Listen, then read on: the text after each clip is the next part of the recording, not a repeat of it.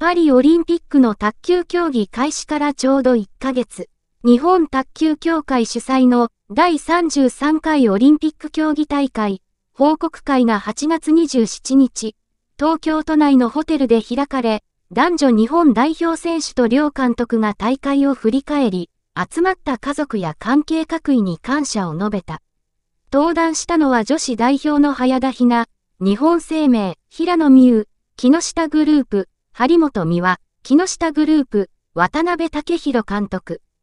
男子代表の張本智和、智和企画、篠塚大登、愛知工業大学、他、国士監督の7人。男子代表メンバーの戸上俊介、井村屋グループはドイツのプロリーグブンデスリーガの開幕戦出場のため欠席となった。女子代表選手たちの胸に団体戦の銀メダルが光る。早田の胸にはシングルスの銅メダルと合わせ2つのメダルが輝いている。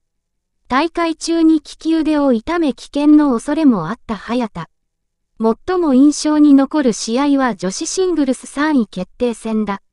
最後、私が10対7でサーブを取って勝った後、新ユビン選手、韓国が抱擁してくださって。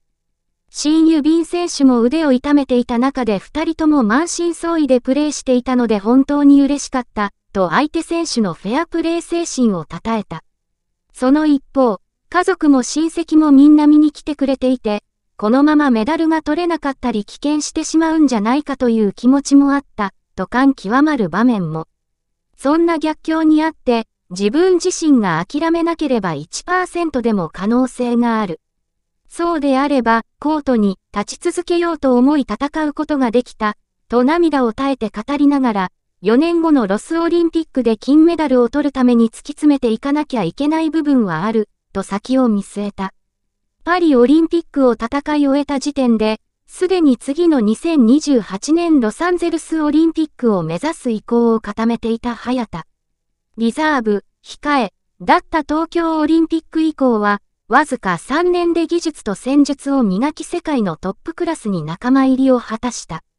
そして、パリ大会で見せた強靭な精神力。そこにコンディショニング強化を図り万全の状態で大会本番に臨めれば、さらなる高みが早田を待つだろう。その前にまずは左腕の治療だ。手術などの必要はなく保存療法で回復に努めるという。今大会の女子メンバーの中で唯一、オリンピック2回連続出場の平野にとって特別だったのはやはりデッドヒートの代表選考レースで出場権を勝ち取った初のシングルス出場だ。中でもゲームカウント0対3の絶対絶命からフルゲームに持ち込んだ準々決勝の新ユビン戦が印象に残るという。普段なら諦めてしまうところなんですけど、選考レースで本当にたくさんの方に支えていただいて獲得できたシングルスの切符。絶対に最後まで諦めることなくやりたいという気持ちで3月3日まで追いついた。最後負けてしまって本当に悔しかったが後悔のない試合ができた。シングルスでは目標のメダルに届かなった。だが、一球ずつ後悔のないプレーをすることができた、と平野。夢の舞台でプレーすることができたのは2年間、本当に苦しい選考レースを支えてくださったチームスタッフの皆さんやサポートしてくださった皆さんがいたからと感謝を伝えた。パリオリンピックが終わったばかりで、次の目標やテーマはあまり定まっていないという。オリンピックで戦った経験を活かして、もっともっと成長できるように一人一人努力を積み重ねていきたい、と話す平野はまず、9月9日に開幕する WTT チャンピオンズマカオから再び国際大会に参戦し、今後の方向性を決めていく見通しだ。